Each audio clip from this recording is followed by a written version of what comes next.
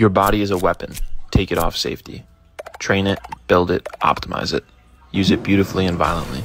Stretch, dance, lift heavier than you've ever lifted, run further than you've ever ran. Create yourself with every step.